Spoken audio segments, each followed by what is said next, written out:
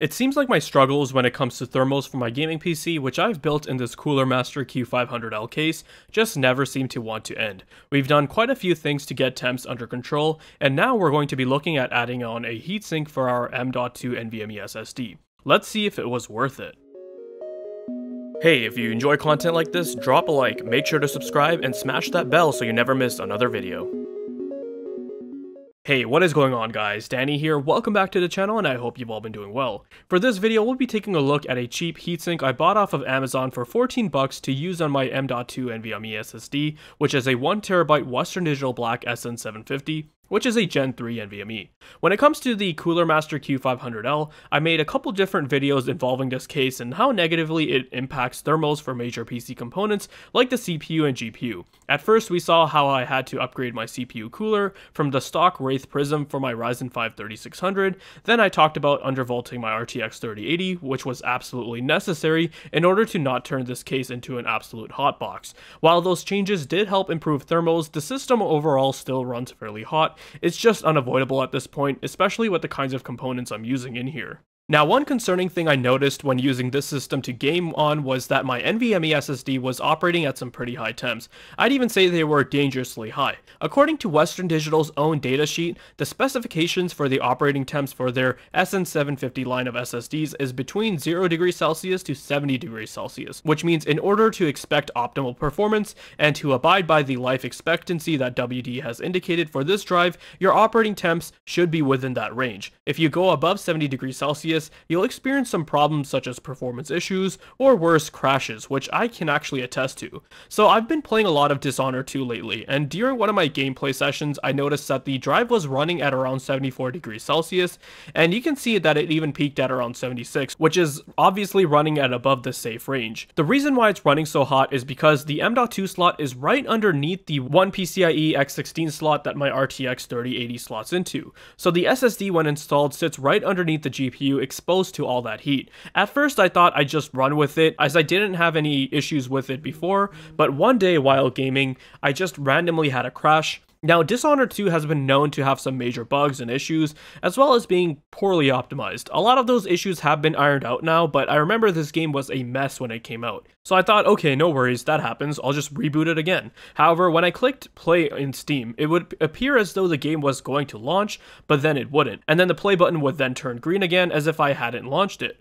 Tried it again, the result was the same. So I thought, okay, that's a bit weird. I thought maybe some game file got corrupted or something, and I tried to do the whole verify and integrity of cache or game files, whatever it's called in Steam and that wasn't working either. I then thought, okay, let me just try launching another game to see if Steam was acting up. So I tried booting up Shadow of the Tomb Raider, and the same result. Tried booting up Dragon's Dogma, same thing. So I thought maybe Steam was acting a bit bizarre, so I exited Steam, stopped any related processes, and started it up again, and nothing had changed. I then went through the game folders in the drive only to find out that while the game folders were showing up, nothing was actually in them. It's as if all the games were uninstalled somehow. They did it by themselves, which was weird. What makes this situation even more bizarre is that I do also have a few other DRM free games installed that aren't launched through any client, and even those game folders appeared the same way as if they got uninstalled. So this is when I started to get really concerned because I had never actually encountered a problem like this, but I did start suspecting it might be drive related, and then that's what also prompted me to check the temps in hardware info, only to find out that the drive was running above 70 degrees Celsius while gaming. So I thought perhaps a safeguard in the drive's firmware was stripped to prevent it from getting any hotter. I finally restarted the system and everything was back to normal. However, this problem did occur a few more times, and I did notice it occur once the drive had been running at those fairly high temps. This is when I decided that I'll have to do something to help keep those temps in check, but unlike a GPU where you can apply an undervolt, you can't do the same to an SSD. However, what we can do is add our own cooling solution to it. Now the version of the SN750 that I have is the one that comes without the heatsink. There is a heatsink version and I wished I had gotten that one instead, but no matter, on Amazon there are plenty of heatsinks you can find. I chose this one by a brand that sounds like they just mashed their keyboard and said, alright, we're good, but this is a rebranded uh, heatsink from a brand called Yateng. I had no specific reasons for choosing this heatsink. It seemed to have decent reviews, it was cheap, and I could get it delivered the fastest, so I went with it.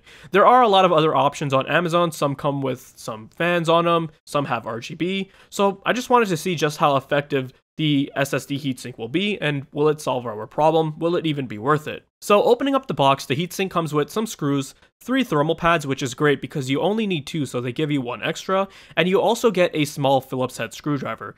As for the heatsink, there's not much to say here. It's got a simple rectangular design similar to the drive itself. It's 3 inches long, 0.95 inches wide, and 0.4 inches thick. It's made out of aluminum, has some fins on the top for more surface area, which helps to help increase dissipation for heat, and the other side is completely flat. The base plate is also made out of metal too. That's pretty much all there is to say about the design, it's just a red metal heatsink guys, it's nothing special.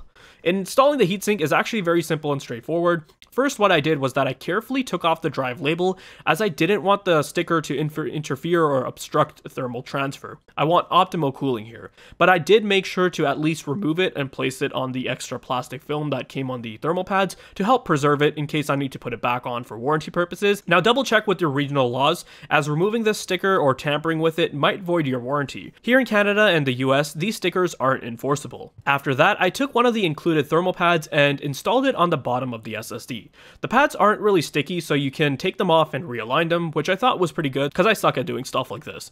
Next step was to apply the second thermal pad on the top where you have your DRAM, NAND flash, and storage controller. Since at this point the drive was pretty much already in the base plate, aligning the thermal pad should be much easier. Make sure to take off the plastic protective film off the thermal pad. Once you're done that, it's just a matter of placing the heatsink on the top and snapping it right into place.